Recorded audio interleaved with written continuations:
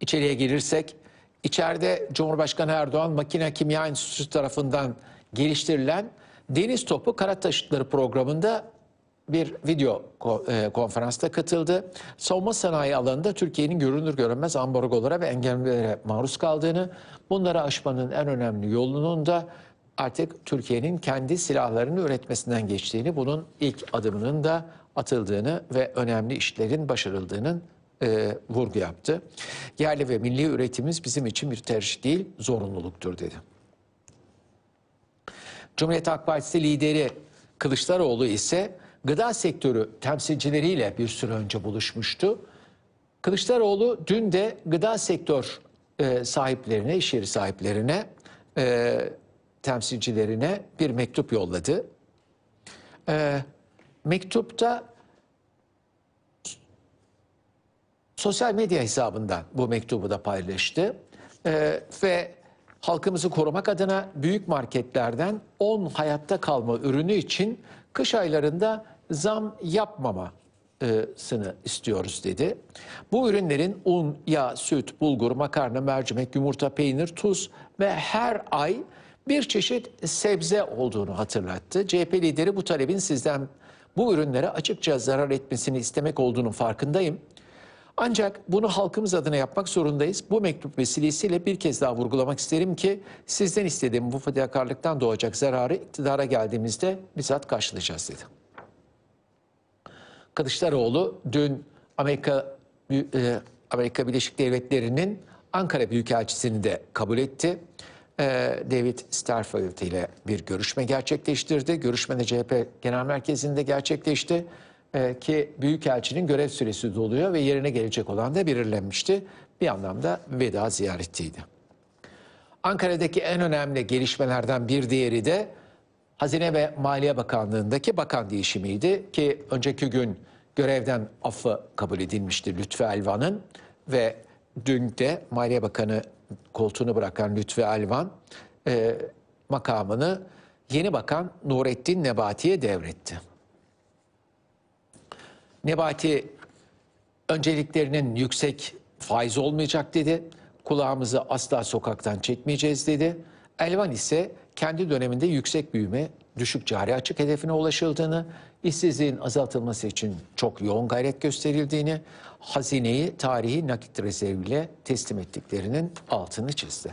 Ancak bu atamaya muhalefetin tepkisi büyüktü. Muhalefetten Cumhuriyet Halk Partisi Grup Başkan Vekili Engin Altay, Merkez Bankası değiştikçe ekonomi batıyor, bakan değiştikçe Türk lirası yerle yeksan oluyor dedi. Altay 3,5 yılda 3 Merkez Bankası, 3 bakan değiştirdik. Bakan değiştirmeyi bırak, artık kafayı değiştir. Son ekonomiden anlamasın, bilmezsin. Ne söylersen söyle, Türkiye ekonomisinin içinde bulunduğu halden çıkartman mümkün değil. Bu sözde olmaz dedi. İyi Parti Grup Başkan Vekili Musavat Dervişoğlu gece yarısı operasyonuyla karşı karşıya kaldık. Bu nasıl bir yönetim anlayışı ki affını istedi deniliyor, istifa dahi edemiyorlar dedi. Yine HDP Grup Başkan Vekili Meral Danış Bektaş da doğrusu bakan dayanmıyor. Seçim yapılmazsa her milletvekiline sıra gelecek Maliye Bakanı olmak için dedi. Dervişoğlu da 3 Hazine Bakanı değişikliği yapıldı. Hükümetin ekonomi yönetimi aklını kaybetmiş. Yeni model dayatma ile karşı karşıyayız diyerek eleştirilerini sürdürdü. Bu arada Anayasa Mahkemesi'nden önemli bir adım söz konusu.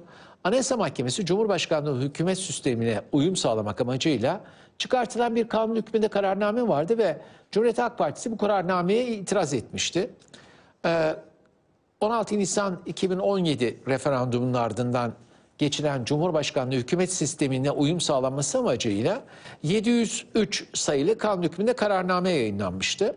Kararname ile Başbakanlık ve Mevcut Bakanlık ile kamu ve kuruluşlarının teşkilatlarına son verilirken kamu teşkilatları yeniden düzenlenmişti. Cumhuriyet Halk Partisi de bu kanun hükmünde kararnameyle olmaz, kanunla yapılması gerekir diyerek itirazda bulunmuştu. Anayasa Mahkemesi 8 Aralık'ta toplanıp Anayasa Mahkemesi e, Genel Kurulu'nun gündemine bu konuyu getirecek. Yüksek Mahkeme söz konusu düzenlemenin kanun hükmünde kanun yerine ancak yasayla yapılacağına kanaat getirirse iptal kararı verecek. Ancak Bu durumda iptal kararı vermek e, durumunda kalması yetmiyor. E, meclisi de büyük ihtimalle uyaracak. Yani bir sistemsel veya sorun e, üretmesi mümkün çok gözükmüyor. Çünkü hükümete yasal süresi içerisinde bunları düzenlemesi için bir e, süre tanıma e, yoluna gidiyor ki çoğu zaman da bunu denedi. Bu arada Kars Belediye Başkanı iken görevinden alınan yerine kayyum atanan ve bir sürede hapis cezası çeken Ayhan Bilgen, HDP'li Ayhan Bilgen BBC Türkçe'ye konuştu.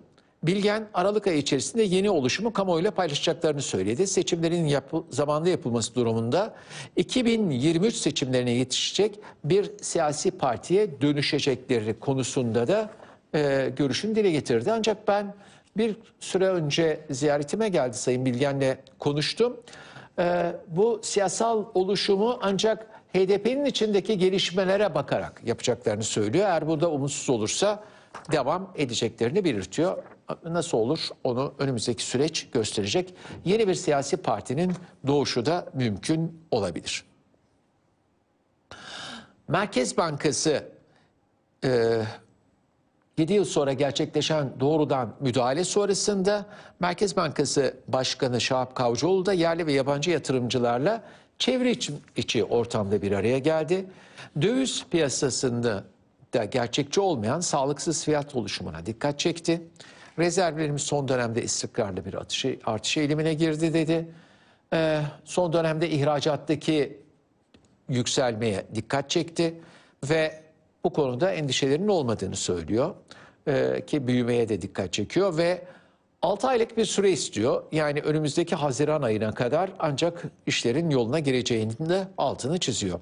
Bu arada Uluslararası Kredi Derecelendirme Kuruluşu Fitch, Türkiye'nin 2020 yılı büyüme tahminini %10,5 olarak düzenledi ki Cumhurbaşkanı da bir süre önce buna atıf yapmıştı.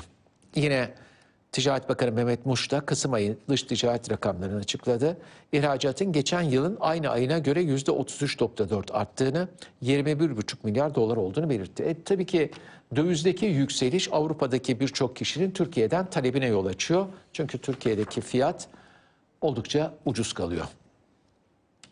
Bu arada dün doğalgaz zammı geldi, bir de benzine zam geldi. Benzine 24 saat içerisinde bir indirim bir zam yapıldı. Bu da ilginç bir durumdu.